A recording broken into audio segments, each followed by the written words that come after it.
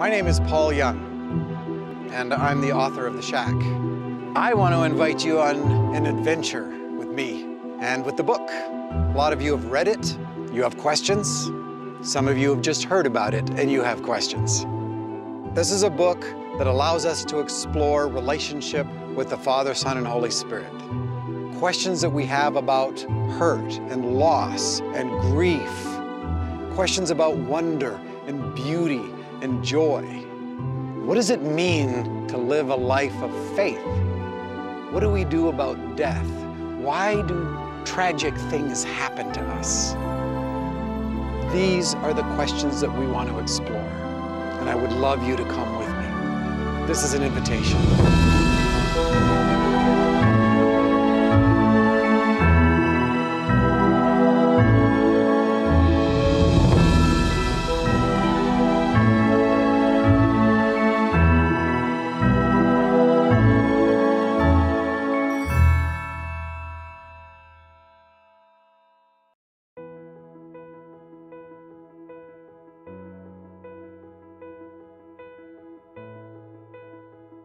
It's impossible to apprehend God, to comprehend God, especially not directly. A lot of times we've tried to do it with our minds and our rationality. It's not that this is mindless, but the best way to comprehend the character and nature of God is through metaphor and story. It meets us as a whole person. This is the metaphor of the shack. Our parents impact our theology. Our theology then reparents us. The shack is the house on the inside that people help you build. And some of you, you got good help.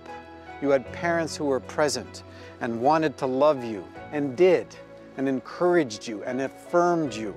So some of the inside house for some of us are habitable places, but for a lot of us, it's just a shack.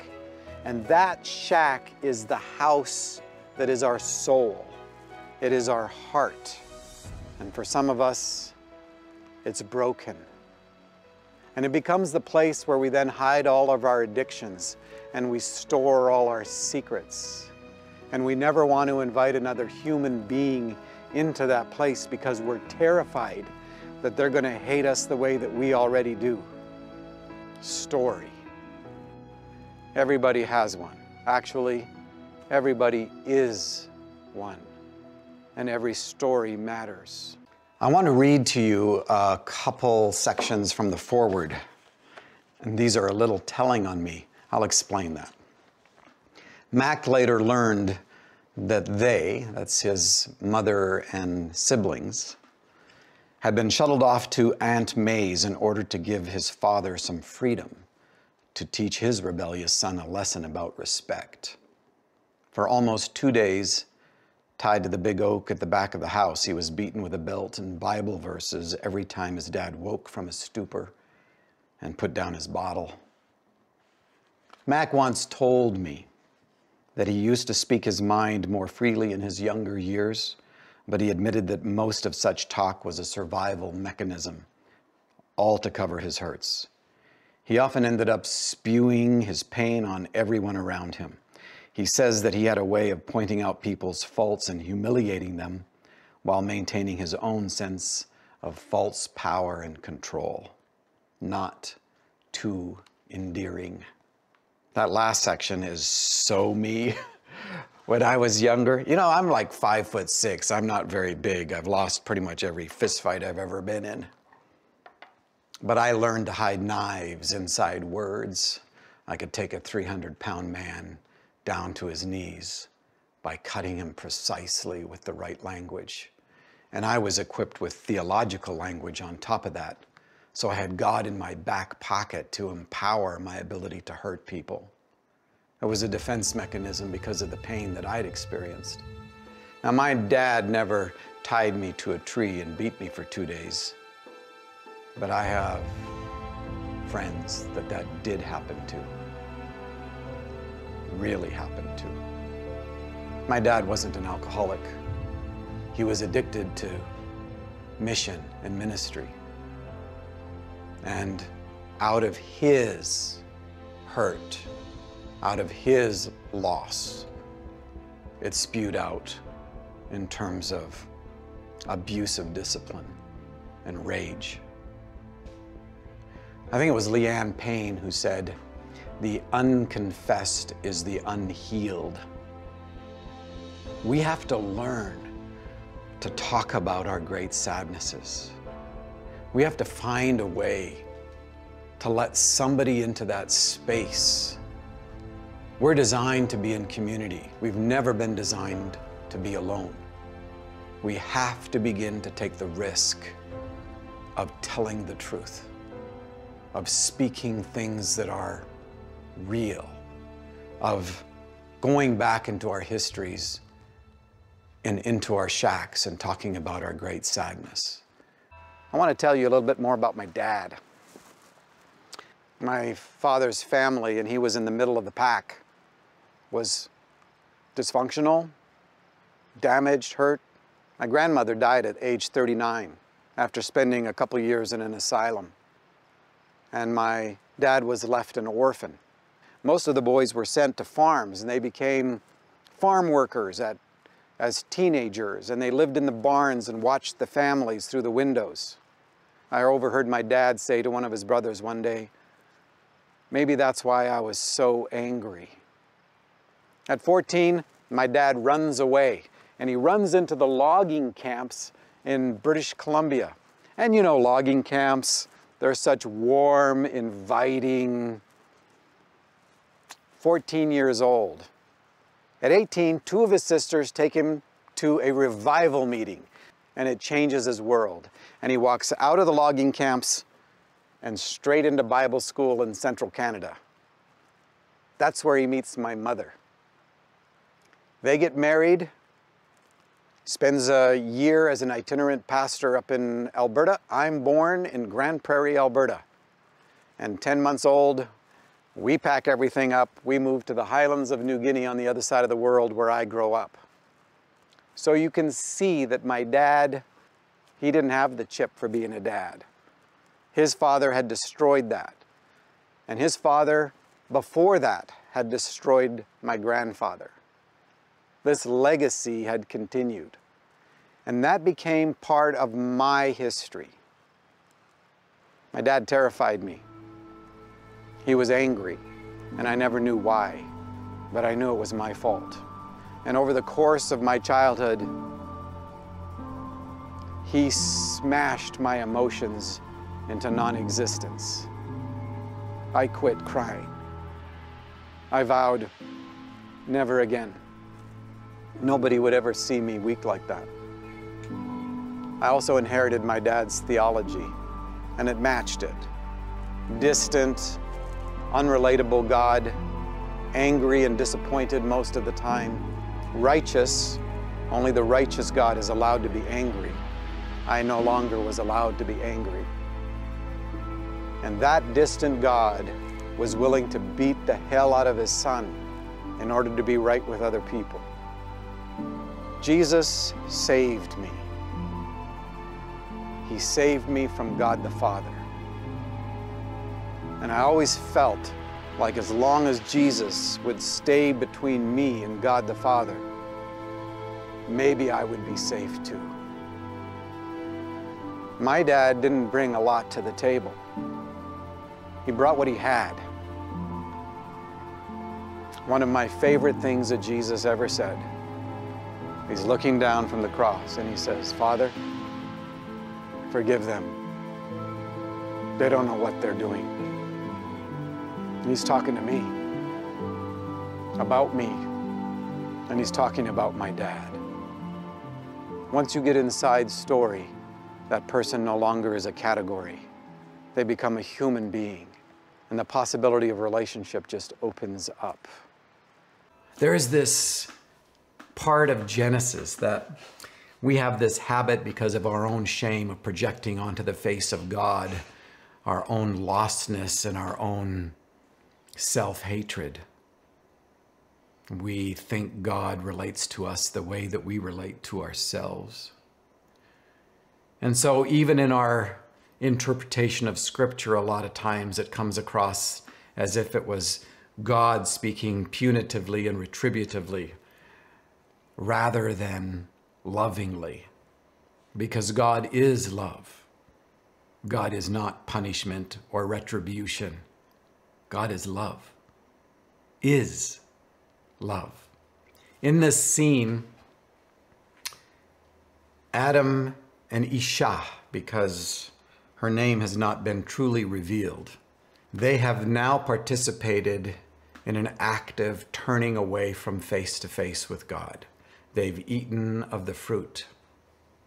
And they hid inside the very tree. In the original Hebrew, it doesn't say they hid in the bushes like it says in the English. They hid in the tree. They were covering themselves up with their ability to determine good and evil. They've made themselves the arbiters of truth independently. And they hear the sound of God. And it says in the English, walking in the cool of the day. And the first thing that you hear is, Where are you? Tell me where you are. God knows where they are. This is an invitation to relationship. And he said, I'm afraid. I heard you. And already Adam has begun to project upon the face of God this punitive, retributive, mean, self absorbed, narcissistic imagination. I was afraid and ashamed because we were naked.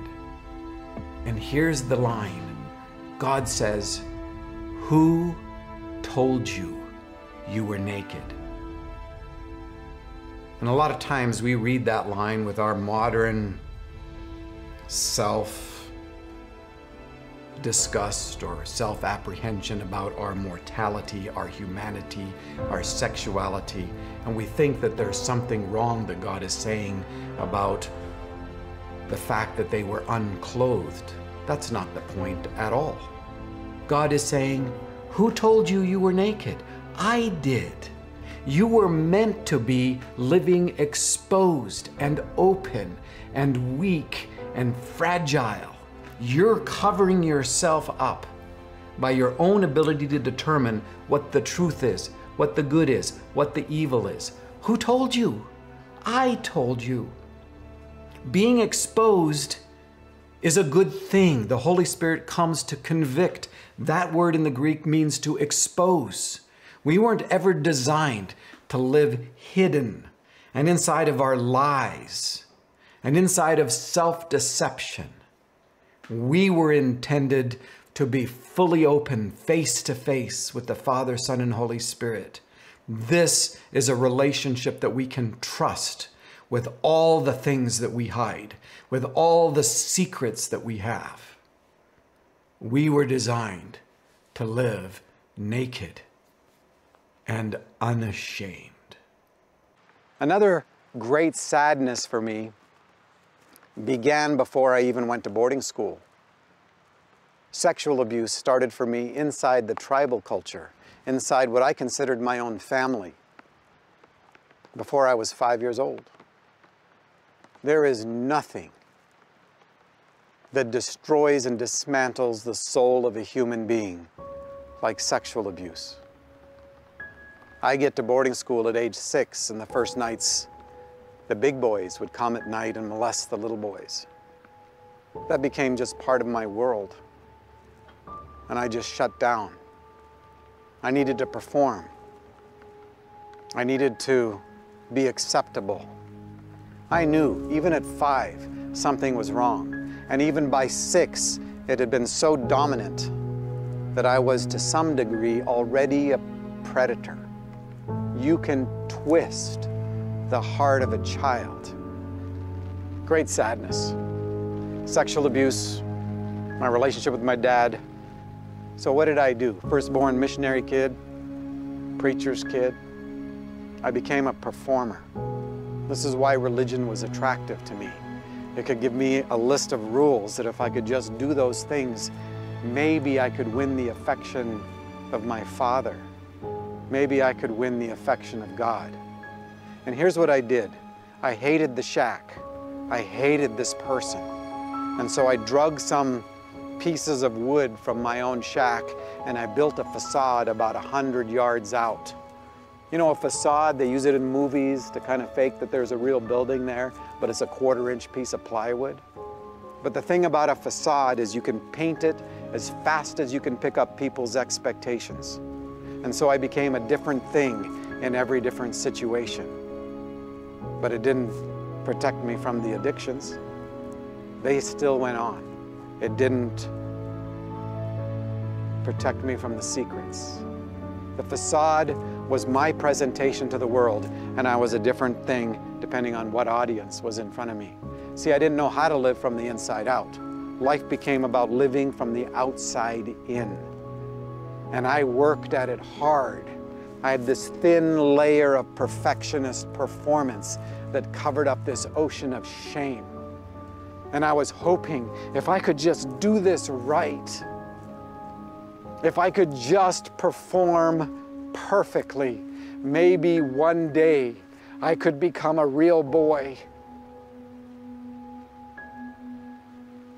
We are as sick as the secrets we keep. And my shack was full of them. And so when somebody comes into our life and they offer us kindness and goodness and grace and forgiveness, we don't believe them because they don't know our secrets. So we're absolutely trapped. We can't tell you because you're going to think that I am exactly what I already believe. I'm a worthless piece of nothingness. But when you offer me something that might keep me alive, I don't believe you because you don't know my secrets. This is the shack. This is the facade. And the thing about healing is that you have to go back to the shack you have to find out that God is in that place and not in the facade. We are as sick as the secrets we keep. We have to deal with our broken hearts. If we want to become real human beings, you can't go around the shack. You have to go into it. The last few years have been how might I put it, remarkably peculiar. Mack has changed. He's even more different and special than he used to be. In all the time I've known him, he's always been a rather gentle and kind soul, but since his stay in the hospital three years ago, he's been, well, even nicer. He's become one of those rare people who are totally at home in their own skin and I feel at home around him, like I do with nobody else. When we go our separate ways, it seems that I've just had the best conversation of my life, even though I usually have done most of the talking. And with respect to God, Mack is no longer just wide. He's gone way deep. But the dive cost him dearly. These days are very different from seven or so years ago when the great sadness entered his life and he almost quit talking altogether. Life as a journey, life as process. That statement in the forward is one that I always had hoped to be able to make for myself, but didn't think it was a possibility. Early in these episodes, I want you to know that that's the truth for me now. Something I never thought was possible. That I'd be comfortable in my own skin. I had a friend of mine ask me one morning at a conference, So, what's it like being Paul Young today? I said, It's the easiest. My life was all messed up and complicated when I was trying to be somebody else. When I had all the secrets buried inside. When I was all hidden when the darkness and the lies are inside and kept inside the imprisonment of our own hearts. They are huge. When we let them out, they lose their power. The, the process of that incredibly painful at times. And there's huge risk involved, but there's always going to be risk involved in trust. And trust is where we're headed, not to control, not to religion, to relationship. And this is a God who will always be with you, will never leave you, and never forsake you. I was uh, on a flight with a famous person, and uh, I, I asked him after a couple hours, Who in your life do you trust? And he shook his head and he said, My mom, my dad, my sister. Mack's laying on the dock with Jesus, and they're looking at the stars and laughing, and finally his grief begins to slip through. And he says, I feel so lost. And he feels a hand take his and not let go. And Jesus says to him, I know, Mack, but I'm here and I'm not lost. How powerful are secrets in your life? And who have you let in? Do you think keeping your secrets is safer than letting them out? Think about the power of secrets in your life. And I'll see you next time.